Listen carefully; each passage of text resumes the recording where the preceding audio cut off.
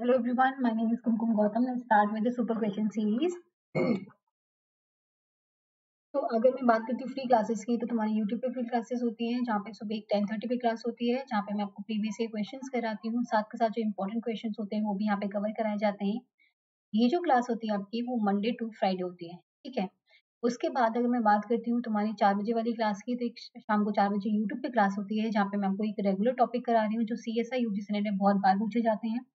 साथ के साथ जो इंपॉर्टेंट टॉपिक्स है, वो भी यहाँ पे कवर करा रही हूँ और रिविजन भी तुम्हारा यहाँ पे चल रहा है। ठीक है? तो अगर किसी बच्चे ने वो क्लासेस ज्वाइन नहीं करी है तो वो ज्वाइन कर सकते हो। और तुम्हारी जो फ्री क्लासेस होती है अन अकेडमी ऐप पे होती हैं तो आपको प्ले स्टोर पे जाना है और अन अकेडमी ऐप को डाउनलोड कर लेना है। यहाँ पे आपकी प्लस वाली क्लासेस भी होती हैं, जो आपकी पेड वाली क्लासेस होती हैं, यहाँ पे जो स्पेशल क्लासेस होती हैं, वो जो फ्री वाली क्लासेस होती हैं, वो स्पेशल क्लासेस होती हैं। आपको कुमकुम गौतम सर्च करना है और फॉलो कर लेना है तो जब भी क्लास होगी आपके पास नोटिफिकेशन आ जाएगा और आप उस क्लास को ज्वाइन कर पाएँगे। तो फर्दर नोटिफिकेशन के लिए आप कुमकुम गौतम फॉलो कर सकते हैं।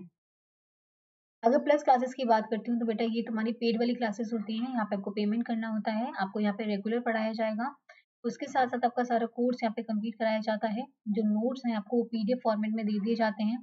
आपको यहाँ पे क्विजेस कराए जाते हैं, आपको टेस्ट सीरीज़ भी कराई जाती है मॉक टेस्ट के थ्रू आपकी प्रॉपर प्रैक्टिस यहाँ पे कराई जाती है। ये जो प्लस क्लासेस होती है बेटा, आपको यहाँ पे, आप जितनी चाहे आप उतनी लाइव क्लासेस अटेंड कर सकते हैं।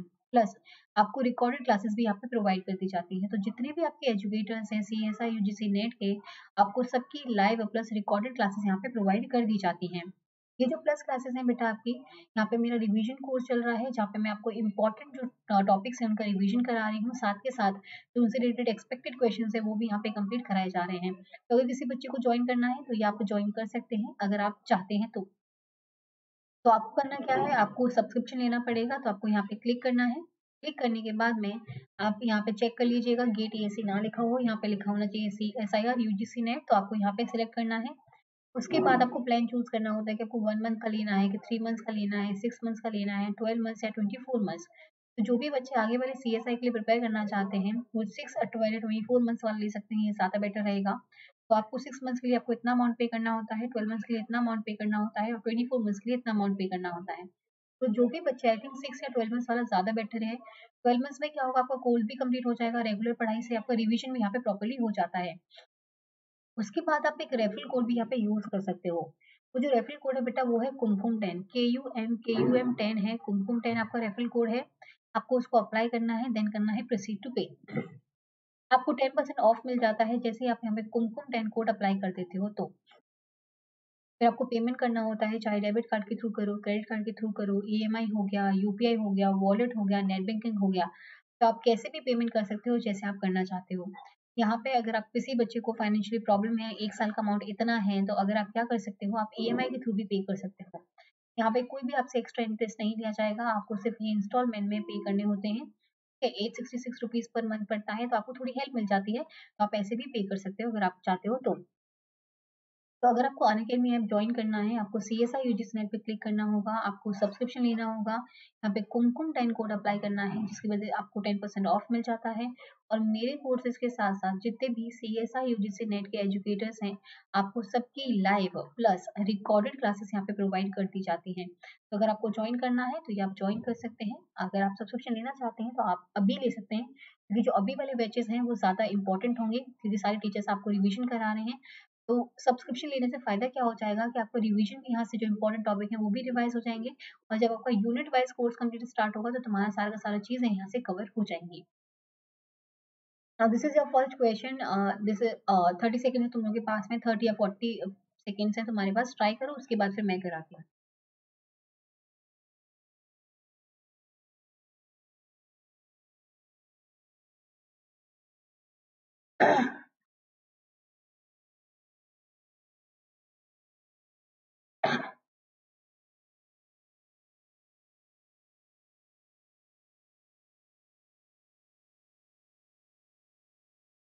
ट्राई करके देखो एक बार।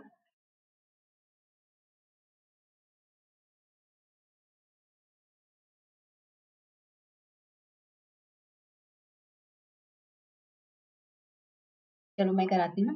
An organism having a heart for the circulation and excrete through the green glands तो हार्ट तो उसके पास सर्कुलेशन के लिए और एक्सक्रीट कर रहा है ग्रीन ग्लैंड से।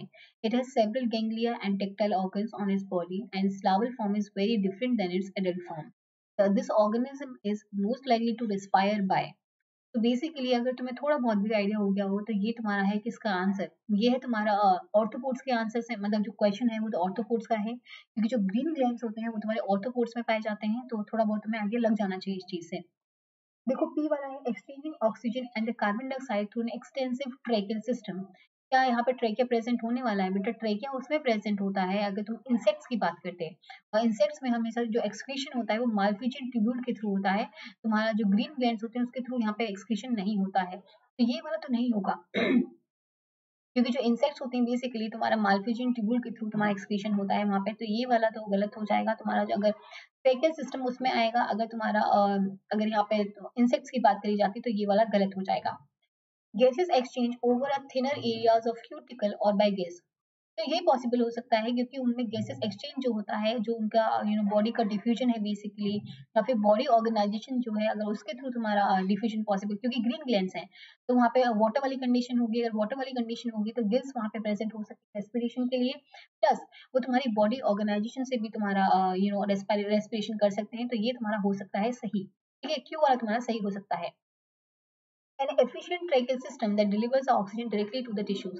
बेटा, मैंने बता दिया कि इंसेक्ट्स में ट्रेकियल सिस्टम प्रेजेंट होता है। तुम्हारे जो ग्रीन ग्लैंड जिसमें होते हैं, जो ऑर्थोपोड्स हैं, उनके पास ट्रेकियल सिस्टम नहीं होगा तो ये वाला यहाँ पे बिल्कुल गलत हो जाएगा। और डबल ट्रांसपोर्ट सिस्टम बेटा, इतना तुम्हारा कोई भी ऑर्थोपोड जो है, इतने एडवांस नहीं होते कि डबल ट्रांसपोर्ट सिस्टम रखें डबल सर्कुलेशन वाला चीज़ रखें तो ये हमें पॉसिबल था ही नहीं। With circulating fluid contain fluid contain dissolve respiratory pigment नहीं, बेटा, इतना पॉसिबल नहीं है, क्योंकि फाइलम है इन्वर्टिब्रेट्स वाले फाइलम है तो डबल ट्रांसपोर्ट सिस्टम तो पॉसिबल था ही नहीं। और बहुत एक्सेप्शन वाली चीज़ है तो ये तो तुम्हें नॉर्मली अगर नहीं पता होती तो ये मतलब पता होनी चाहिए थी तो ये वाला तो गलत हो जाएगा। द करेक्ट ऑप्शन तो तुम्हारा जो सी होगा विल बी राइट आंसर क्योंकि खाली क्यों एक ऐसा कंडीशन है, जहाँ अगर ग्रीन ग्लैंड्स प्रेजेंट है, अगर तुम्हारे ऑर्थोपोड्स की बात करी जा रही है तो नॉर्मली तुम्हारे स्पाइडर्स वगैरह हो गए, ये क्या करते हैं, तुम्हारा गिल्स के थ्रू या फिर क्यूटिकल के जो थ्रू जो तुम्हारी बॉडी ऑर्गेनाइजेशन होती है क्यूटिकल जो उनके ऊपर अटैच रहती है, जो एक्सो एक्सोस्केलेटन होती है, उसके थ्रू रेस्पायर करेंगे जो आंसर हो जाएगा Q will be right answer चलो नेक्स्ट क्वेश्चन है, तुम्हारा थर्टी सेकंड से तुम्हारे पास ट्राई करो, उसके बाद फिर मैं समझाती हूँ तुम लोगों को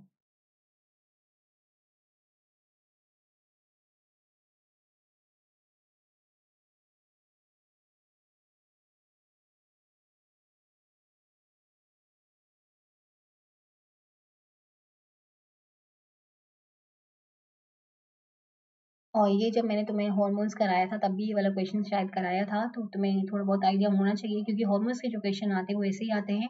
अगर तुम्हारा बेसिक जो यू नो कॉन्सेप्ट है अगर क्लियर है तो तुम कोई भी क्वेश्चन कर जाओगे अगर वो क्लियर नहीं है तो यहाँ पे प्रॉब्लम हो जाएगी, तुम्हें काफ़ी प्रॉब्लम हो सकती है।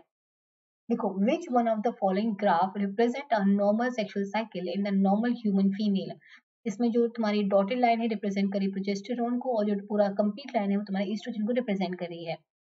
अब ये वाली कंडीशन देखो। यहाँ पे तुम्हारा देख रखा है कि ज़ीरो टू फोर्टीन डेज़ हो गया, या ट्वेंटी फाइव डेज़ हो गया। क्या कभी तुमने देखा है कि फोर्टीन डेज़ पे तुम्हारा मेंस्ट्रुएशन होगा? क्या कभी ये पॉसिबल है?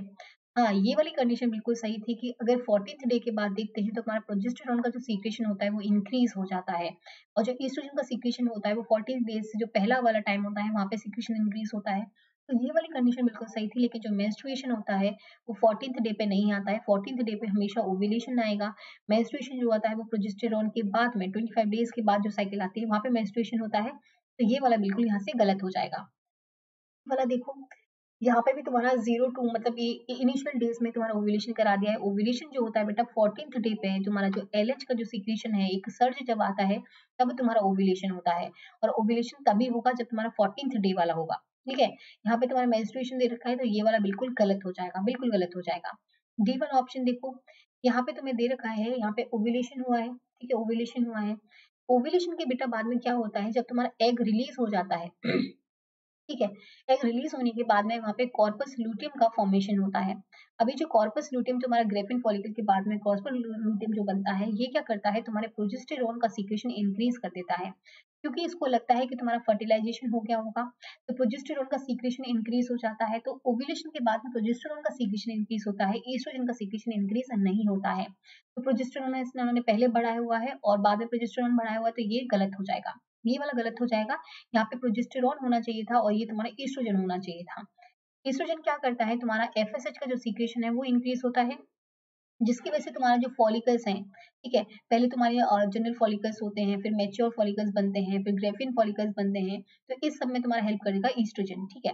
तो ईस्ट्रोजन का जो सीक्रेशन होता है, वो ओव्यूलेशन से पहले होगा जब तक तो तुम्हारा ओवर निकल नहीं जाता है। तो बी वाला कंडीशन देखो, यहाँ पे तुम्हारा देखा है मेंस्ट्रुएशन माना यहीं पे होता है तुम्हारा मेंस्ट्रुएशन फोर्टीन डे पे ओवुलेशन है, ये भी तुम्हारी कंडीशन सही है। ईस्ट्रोजन का सीक्रेशन जो है फोर्टीन डे से पहले बढ़ा है तो ये तुम्हारा बिल्कुल सही है। और जो प्रोजेस्टन का सीक्रेशन है आफ्टर फोर्टीन डेज़ बढ़ा है तो ये भी तुम्हारा बिल्कुल सही हो जाएगा। तो जो आंसर हो जाएगा B will be right answer चलो नेक्स्ट क्वेश्चन तुम्हारा ट्राई करो, उसके बाद फिर मैं समझाती हूँ।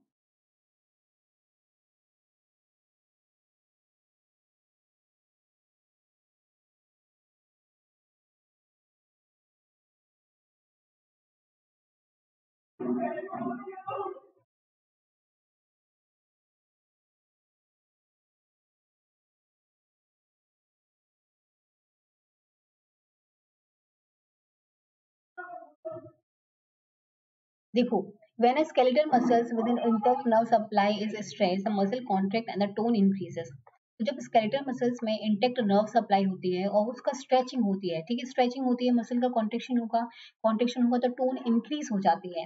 The following explanation are offered for this observation the Golgi tendon organ was stimulated by the stretching of the muscles तो गोल्जे टेंडन का यहाँ पे कोई भी रोल नहीं होता है तो ये वाला तो गलत हो जाएगा। Gamma motor neurons were excited by the stimulated efferent nerve fibers from the stressed muscle cells. देखो, इस कंडीशन में होता क्या है?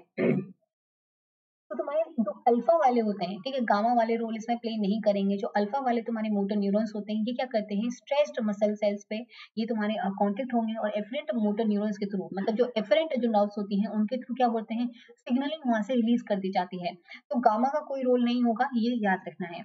Muscle spindle was stimulated by the stretching of the muscles obviously जब तुम्हारा मसल का स्ट्रेचिंग होता है तो तुम्हारे जो मसल स्पेंडल्स हैं, वो तुम्हारे स्ट्यूमुलेट हो जाते हैं। तो तुम्हारा एक्टिन और माइसिन आपस में क्या करते हैं कॉन्ट्रेक्शन करेंगे और बाद में तुम्हारा कॉन्ट्रेक्शन वहाँ पे पॉसिबल हो पाएगा। अब कैसे होगा? जो अल्फ़ा मोटर न्यूरॉन से वो इन्फॉर्मेशन लेके जाएँगे कि स्ट्रेचिंग हो रही है, मैं क्या करूँ?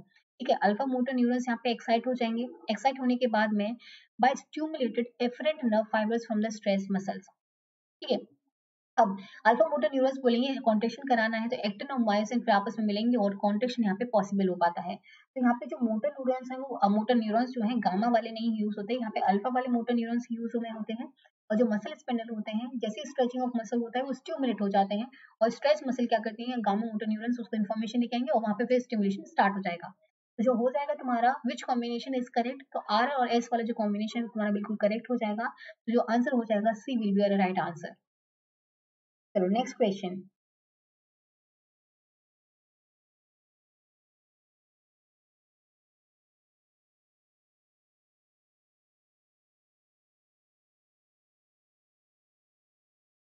ट्राई करो, तुम्हारे पास थर्टी सेकेंड्स है, उसके बाद फिर मैं कराऊँगी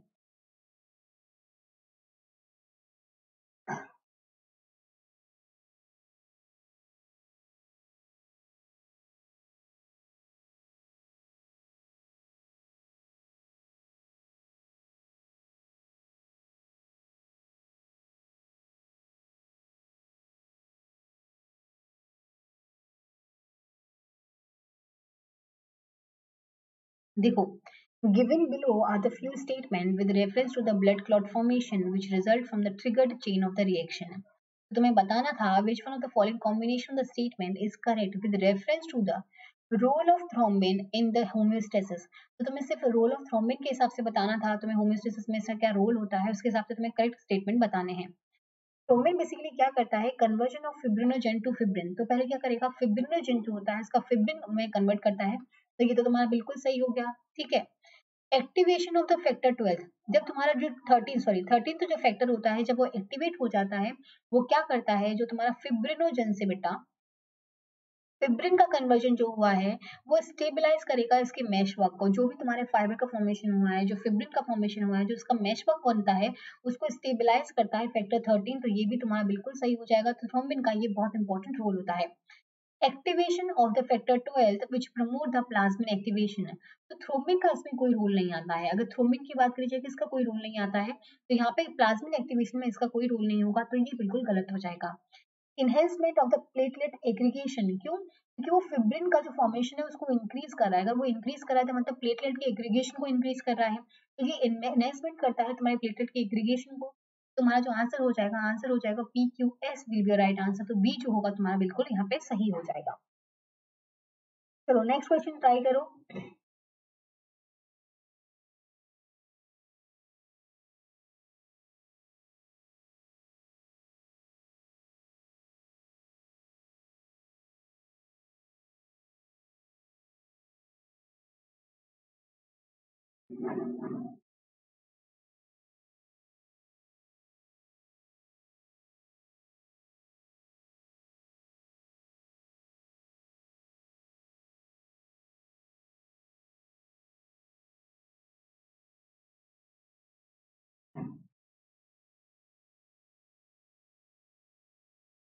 तो देखो स्टार्ट करते हैं। The mechanism of the sound localisation in the horizontal plane by the human auditory system can be explain by देखो ह्यूमन ऑडिटरी किसी बच्चे ने क्लासेस नहीं लिए तो देख लेना, अगर ह्यूमन ऑडिटरी सिस्टम की मैंने तुम्हें ईयर का पूरा पढ़ा दिया है, थोड़े बहुत क्वेश्चन हैं जो तुम्हारे रह गए थे, लेकिन वो मैंने पूरी कोशिश करी वहाँ से कराने की तो कुछ कुछ क्वेश्चन हैं जो यहाँ से रह गए हैं तो वो तुम्हें यहाँ पे कंप्लीट करा दूँगी। अब देखो, यहाँ पे क्या है तुम्हारा? The difference in the time between the arrival of the stimulus and into the two ears तो अगर तुमसे पूछा जाता है कि साउंड लोकलाइजेशन जब तुम हॉरिजॉन्टल प्लेन पे रहते हो ह्यूमन ऑडिटरी सिस्टम कैसे एक्सप्लेन करता है साउंड लोकलाइजेशन कैसे होता है, ये तुम्हें बताना था कि difference in the time between the arrival of the stimulus in two ears तो ये तो तुम कर सकते हो कि कोई जो आवाज़ है तुम्हारे एक टाइम दूसरे टाइम के बाद में आ रही है या फिर कौन पहले आए, तुम ये डिफ्रेंशिएट कर सकते हो आपस में, तुम्हें समझ में आ जाता है कि इसने मुझसे पहले बोला है, इसने मेरे को बाद में बोला है तो तुम डिफरेंस क्रिएट कर सकते हो तो ये तुम्हारा बिल्कुल सही हो जाएगा, ठीक है? ये बिल्कुल सही हो जाएगा। Difference in the phase of the sound waves on the two ears तो तुम्हारा जो एक इस अब का आवाज़ मतलब तेज आ रही है, इस वाले इस वाले कान में तेज आवाज़ आ रही है तुम्हें भी ये भी समझ में आ जाता है कि different phase of the sound waves on the two ears तुम्हें ये भी पूरी तरह समझ में आएगा तो ये तुम्हारा बिल्कुल सही हो जाएगा। अब तुमसे पूछा क्या है which one of the following is not correct not correct पूछा गया है तो ये दोनों तो तुम्हारे बिल्कुल सही हो गए हैं। The difference in the tuning curves of the two auditory nerves तो ऑडिटरी नर्व्स की ट्यूनिंग कब से कोई फ़र्क नहीं पड़ने वाला है? वहाँ पे वो सेम सेम फ़ंक्शन करने वाली हैं, वो पार्शियलिटी नहीं करने वाली हैं। तो ऑडिटरी नर्व्स का यहाँ पे डिफरेंस क्रिएट नहीं होगा, ये बिल्कुल गलत हो जाएगा। ठीक है? ये गलत हो जाएगा। The activity of the neurons अगर तुम यहाँ से भी देखते तुम्हारा ये वाला ऑप्शन तो बिल्कुल गलत हो गया, क्योंकि क्यू तो तुम्हारा बिल्कुल सही है और आर तुम्हारा गलत हो गया तो इधर से तुम्हारा आंसर जो था डी आ जाना था। The activity of the neurons in the superior olivary sorry olivary nucleus, but not by the neural activity of auditory cortex. तो न्यूरल एक्टिविटी तो बहुत ज़्यादा इंपॉर्टेंट है तो ये वाला तो गलत हो जाएगा, क्योंकि वहाँ पे जो तुम्हारी नर्व काम करती है, जो तुम्हारी यू नो वेस्टिबुलो ऑक्यूलर जो नर्व काम करती है कॉकुलर जो नर्व काम करती है तो न्यूरल एक्टिविटी यहाँ पे शो होती है तो ये तो गलत हो जाएगा तो जो आंसर हो जाएगा D will be right answer क्योंकि ये दोनों चीज़ें याद रखनी है. आई थिंक ये बहुत कॉमन चीज़ें थी कि तुम्हारा जो ईयर में अगर स्टिमुलस अराइवल डिफरेंट टाइम में आ रहे हैं, तब भी तुम डिफरेंस क्रिएट कर सकते हो। अगर साउंड वेव्स अलग आ रही है, तब भी तुम डिफरेंस कर सकते हो। लेकिन ऑडिटरी नर्व्स अपना ट्यूनिंग कर्व के बेसिस पे डिफरेंस नहीं कर सकते हो, ये चीज़ नहीं होती तो ये वाला इसलिए यहाँ से गलत हो जाता। तो जो आंसर हो जाएगा D will be right answer चलो नेक्स्ट क्वेश्चन करो। ये इजी क्वेश्चन है थर्टी सेकेंड हमारे पास ट्राई करो।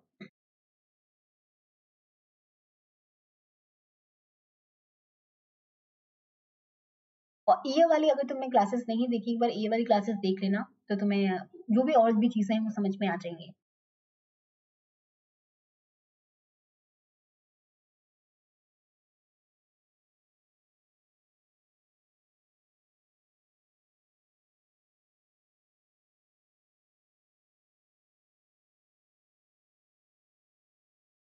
देखो the base analogue to aminopurine pairs with thymine तो हमें पता है कि जो टू अमाइनोप्यूरिन होता है, वो बेस करता है, वो सॉरी पेयरिंग करता है थाइमिन के साथ में। नॉर्मली ठीक है normally can occasionally pair with cytosine लेकिन वो साइटोसिन के साथ भी पेयरिंग कर सकता है। अब तुम्हें पूछा गया है the type of mutation mutation which is induced by the two aminopurine is बेटा अब क्या हो रहा है? तुम्हारा साइटोसिन और थाइमिन में तुम्हारा म्यूटेशन मतलब कभी जो तुम्हारा थाइमिन के साथ में कर रहा था, वो साइटोसिन के साथ में कर रहा है। तो साइटोसिन और थाइमिन की ये बात है, आपस की बात है। तो अगर मैं बात करती हूँ प्यूरिन की प्यूरिन में क्या आता है बेटा? क्वानिन आता है और तुम्हारा एडेनिन आता है। अगर मैं प्रिमिडिन्स की बात करती हूँ तो साइटोसिन आता है थाइमिन आता है यूरेसिल आता है, ये सारी चीज़ें तुम्हारी किसमें आती है? प्रिमिडिन में आती है। तो यहाँ पे तो तुम्हारा प्रिमिडिन का प्रिमिडिन में चेंज हो रहा है। यहाँ पे प्यूरिन से तो कोई लेना देना है नहीं उसको। तो ट्रांसवर्जन में क्या होता है? जब तुम्हारा प्यूरिन टू प्रिमिडिन होता है या फिर प्रिमिडिन टू प्यूरिन यहाँ पे ट्रांसवर्जन होता है तो इस वाली कंडीशन में तो ये चीज़ होती है। लेकिन यहाँ पे क्या हो रहा है? यहाँ पे तुम्हारा साइटोसिन और थाइमिन के बीच में हो रहा है तो एक ही तुम्हारे प्रिमिडिन से बिलोंग कर रहे हैं। इस कंडीशन को बोला जाता है ट्रांजिशन वाली कंडीशन मतलब अगर तुम्हारा प्यूरिन प्यूरिन में चेंज होता है या फिर प्रिमिडिन प्रिमिडिन में चेंज होता है, इस कंडीशन में बोला जाता है ट्रांजिशन अगर बिल्कुल ऑल्टरनेटिव होता है तो ट्रांसवर्जन उसको बोल दिया जाता है। डिलीशन तो यहाँ पे हो नहीं रहा है तो ये भी गलत हो जाएगा। नॉनसेंस वाली कंडीशन भी नहीं हो रही है तो ये वाला भी बिल्कुल गलत हो जाएगा। तो जो आंसर हो जाएगा B will be right answer चलो नेक्स्ट क्वेश्चन थर्टी सेकेंड से ट्राई करो फटाफट से।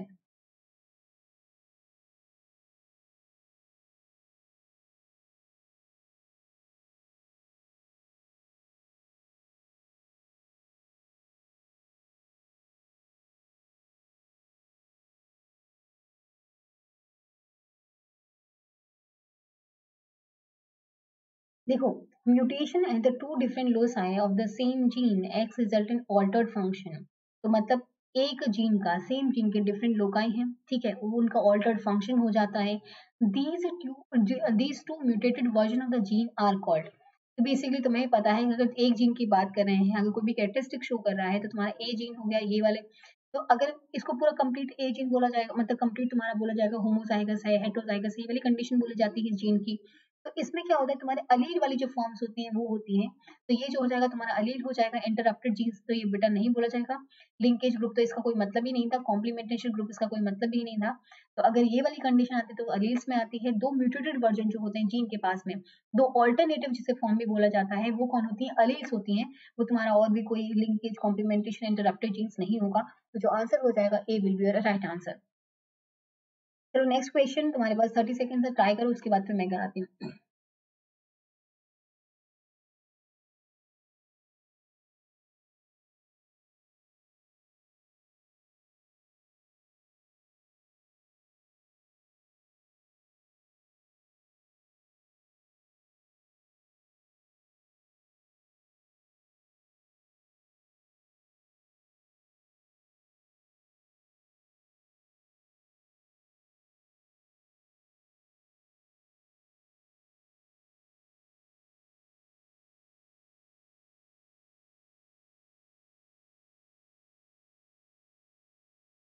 देखो in the transformation experiment donor dna from the e coli strain with the genotype z plus y plus was used to transform of a strain of a genotype z negative and y negative the frequencies of the transformed classes were तो तुम्हें ये frequencies दे रखी हैं जैसे z positive y positive की ये हो गई तुम्हारी z positive y negative की ये हो गई और z negative y positive की ये वाली हो गई और total amount दे रखा है तुम्हें थाउज़ेंड ठीक है टोटल दे रखा है Now, तुमसे पूछा गया है what is the frequency in percentage with which y locus is co-transformed with the z locus? तो तुमसे पूछा गया है जो y locus है वो z locus के साथ में को ट्रांसफॉर्म होगा उसकी फ्रीक्वेंसी क्या होने वाली है तो ये वाली जो कंडीशन होती है ये तभी पॉसिबल होगी जब y प्लस और z प्लस होगा ठीक है? तब ये वाली कंडीशन होगी, तभी तुम्हारा को ट्रांसफॉर्मेशन होगा पॉसिबल हो पाएगा। जहाँ पे भी वाई नेगेटिव जेड पॉजिटिव होगा या जेड नेगेटिव वाई पॉजिटिव होगा, वहाँ पे ये कंडीशन पॉसिबल नहीं हो पाएगी। तो तुम्हें सिर्फ़ इसकी फ्रीक्वेंसी देखनी थी। तो तुम अगर देखोगे तो यहाँ पे जेड नेगेटिव वाई पॉजिटिव है तो इसकी फ्रीक्वेंसी तो तुम्हें नहीं देखनी है। यहाँ पे y वाई नेगेटिव और z पॉजिटिव है इसकी फ्रीक्वेंसी भी नहीं देखनी है। तुम्हें इसकी फ्रीक्वेंसी देखनी थी, यहाँ पे z पॉजिटिव था और y पॉजिटिव था। वो कितना है बेटा? 200 है। तो तुम्हें क्या करना है? 200 को लेना है। जो फ्रीक्वेंसी दे रखी है। तो जब गिवन फ्रीक्वेंसी या फिर को ट्रांसफॉर्म्ड फ्रीक्वेंसी देखनी है तुम्हें, वो किसकी देखनी है? जेड पॉजिटिव और वाई पॉजिटिव की देखनी है। अपॉन में लिखना है टोटल क्योंकि तुम्हें परसेंटेज में पूछा गया है इंटू करना पड़ेगा हंड्रेड इंटू हंड्रेड करना पड़ेगा। तो टू हंड्रेड तुम्हारा ये हो गया। और टोटल कितना है बेटा? थाउज़ेंड उन्होंने खुद दिया हुआ है और हंड्रेड तुम्हें फ्रीक्वेंसी के लिए निकालना पड़ेगा। तो ज़ीरो से ज़ीरो गए, दो ज़ीरो ज़ीरो गए और एक ज़ीरो से यहाँ पे एक और ज़ीरो गया। तो तुम्हारा जो आंसर हो जाएगा twenty will be right answer B जो हो जाएगा तुम्हारा बिल्कुल सही आंसर हो जाएगा। अगर ऐसे क्वेश्चन आते हैं तो बस इतना करना है। जिसके साथ भी को ट्रांसफॉर्मेशन पूछा गया उसकी फ्रीक्वेंसी ऊपर लिखनी है। टोटल जो दिया गया है, उसको नीचे लिखना है इंटू हंड्रेड कर देना है और तुम्हारा जो आंसर है को ट्रांसफॉर्मेशन जो फ्रिक्वेंसी है, वो यहाँ से निकल के आ जाएगी। तो काफ़ी बार क्वेश्चन आते हैं तो ये ध्यान में रखना है। तो अगर मैं बात करती हूँ तुम्हारी फ्री क्लासेस की तो तुम्हारी यूट्यूब पे फ्री क्लासेस होती हैं, जहाँ पे सुबह टेन थर्टी पे क्लास होती है, जहाँ पे मैं आपको प्रीवियस से क्वेश्चन कराती हूँ और जो मोस्ट इंपॉर्टेंट क्वेश्चन है वो कराती हूँ। तो अगर आपको ये ज्वाइन करने हैं तो आप ये ज्वाइन कर सकते हो। साथ के साथ अगर आपकी बात करती हूँ, चार बजे क्लास होती है, जहाँ पे मैं आपको रेगुलर पढ़ा रही हूँ, ठीक है, जहाँ पे जो इंपॉर्टेंट टॉपिक्स है वो करा रही हूँ। साथ के साथ आपको यहाँ पे रिवीजन भी आपका करा रही हूँ तो अगर आपको ज्वाइन करना है, अगर कभी चार बजे वाली क्लास नहीं ज्वाइन की है, जो तुम्हारी लाइव होती है तो आप ज्वाइन कर सकते हैं। अन अकेडमी पे क्या होता है, ये जो प्लेटफॉर्म है आपका अन अकेडमी का, जहाँ पे आपके प्लस क्लासेस भी होते हैं और आपके यहाँ पे स्पेशल क्लासेस भी होते हैं जो आपकी फ्री होती हैं। तो अगर किसी को ज्वाइन करना है दे कैन ज्वाइन तो आपको प्ले स्टोर पे जाना है, एकदम download the Unacademy app and search Kumkum Gautam and follow ठीक है? सो फर्दर नोटिफिकेशन के लिए आप फॉलो कर सकते हैं सो so देन जब भी क्लास होगी आपके पास आपके पास नोटिफिकेशन आ जाएगा you can join the class ठीक है? तो अगर आपको फर्दर नोटिफिकेशन के लिए करना है तो आप फॉलो कर सकते हैं। साथ के साथ अगर आपको प्लस क्लासेस ज्वाइन करनी है, बेटा, जो पेड वाली क्लासेस होती हैं, आप ये भी ज्वाइन कर सकते हो। इनका क्या सिग्निफिकेंट होता है? इनका यू नो फ़ायदा क्या होगा आप लोगों को कि आपको रेगुलर पढ़ाया जाएगा, ठीक है? रेगुलर पढ़ाया जाएगा। आपका सारा का सारा कोर्स जो है यू नो यूनिट वाइज यहाँ पे कंप्लीट कराया जाता है। मॉक टेस्ट के थ्रू प्रैक्टिस कराई जाती है क्विजेस कराए जाते हैं, आपके टेस्ट सीरीज़ कंडक्ट कराए जाते हैं so they you know practice हो, हो सके बच्चों की प्रॉपरली यहाँ से आपको रिविजन हो सके चीज़ों का तो उसके लिए आपको प्लस क्लासेस यहाँ पे कंडक्ट कराई जाती है। अब प्लस क्लासेस में क्या होगा आपको रेगुलर क्लासेस भी प्रोवाइड की जा रही है कोर्स भी पूरा कंप्लीट कराया जा रहा है और जो नोट्स हैं वो भी आपको पीडीएफ फॉर्मेट में प्रोवाइड कर दिए जाते हैं। अब ऐसा नहीं है कि सर आपको मेरी क्लासेस मिलेंगी जितने भी यू नो जितने भी आपके C S I UGC NET के एजुकेटर्स हैं आपको सबकी you know will get all the live classes and recorded classes as well तो लाइव क्लासेस के साथ साथ आपको रिकॉर्ड क्लासेस भी मिलती हैं। सो अगर आपको ज्वाइन करना है, आप ज्वाइन कर सकते हैं। मेरा यहाँ पे रिवीजन कोर्स चल रहा है, जब मैं आपको रिवीजन करा रही हूँ और आपके जो इंपॉर्टेंट क्वेश्चन हैं, वो भी यहाँ पे करा रही हूँ तो अगर किसी बच्चे को वो ज्वाइन करना है तो आप ज्वाइन कर सकते हैं। आपको यहाँ पे क्लिक करना है सब्सक्रिप्शन पे, ध्यान रखिए टी ना लिखा हो, यहाँ पे आपको C S I UGC NET select करना है। उसके बाद आपको प्लान चूज़ करना होता है कि आपको वन मंथ का लेना है थ्री मंथ्स का लेना है सिक्स मंथ्स का लेना है ट्वेल्व या ट्वेंटी फोर मंथ्स का लेना है। तो जो भी बच्चे आगे वाले सी के लिए प्रिपेयर करना चाहते हैं, वो six twelve twenty four months का ले सकते हैं। तो आई थिंक अभी अगर आप ज्वाइन करोगे तो ज़्यादा बेटर होगा क्योंकि अभी रिविजन भी चल रहा है। जितने भी टीचर्स हैं, आपको रिवाइज करा रहे हैं। तो अगर आप अभी ज्वाइन करना चाहते हैं तो अभी ज्वाइन कर सकते हैं। काफ़ी फ़ायदा हो जाएगा अभी। तो सिक्स या ट्वेल्व मंथ्स का इतना आपको अमाउंट पे करना होता है। उसमें भी आप एक रेफरल कोड यूज़ कर सकते हो। वो जो रेफरल कोड है बेटा, वो है Kumkum ten K U M K U M ten तुम्हें ये अप्लाई करना है। जैसे आप अप्लाई करोगे, आपको टेन परसेंट यहाँ पे ऑफ़ मिल जाता है। तो आपको टेन परसेंट ऑफ़ मिल जाएगा कुमकुम टेन अप्लाई करने से। फिर आपको पेमेंट करना होता है डेबिट कार्ड के थ्रू करो या फिर क्रेडिट कार्ड के थ्रू करो ईएमआई हो गया यूपीआई हो गया वॉलेट हो गया नेट बैंकिंग हो गया। तो आप जैसे चाहे वैसे पेमेंट कर सकते हो। आपको इतना अमाउंट पे करना होता है। तो अगर किसी बच्चे को फाइनेंशियली प्रॉब्लम है तो आप ईएमआई के थ्रू भी कर सकते हो। यहाँ पे नो कॉस्ट ईएमआई वाला ऑप्शन है। मतलब कोई भी इंटरेस्ट आपको नहीं दिया जाएगा। आपको सिर्फ़ ये इंस्टॉलमेंट में पे करना है। तो आप पे कर सकते हो अगर आपको पे करना है तो। अन अकेडमी ऐप पे आप क्या कर सकते हैं? अगर आपको सब्सक्रिप्शन लेना है, अगर प्लस पे आना है तो आप कुमकुम टेन कोड अप्लाई कर सकते हैं to get ten percent off and along with my courses you'll get all the courses of the, all the teachers who gonna teach you the CSI UGC net. तो जितने भी teachers हैं, आपके जो C S I UGC NET के लिए पढ़ाते हैं, जितने भी एजुकेटर्स हैं you will get all their classes ठीक है? ताकि सबके सब क्लासेस आपको मिलेंगे और आपको बहुत अच्छे से वहाँ पे रिविजन कराया जाएगा, आपको प्रैक्टिस कराई जाती है। तो अगर आपको ज्वाइन करना है देन यू कैन ज्वाइन और प्लस पे आप आ सकते हैं और ज्वाइन कर सकते हैं। So thank you so much for watching this video thank you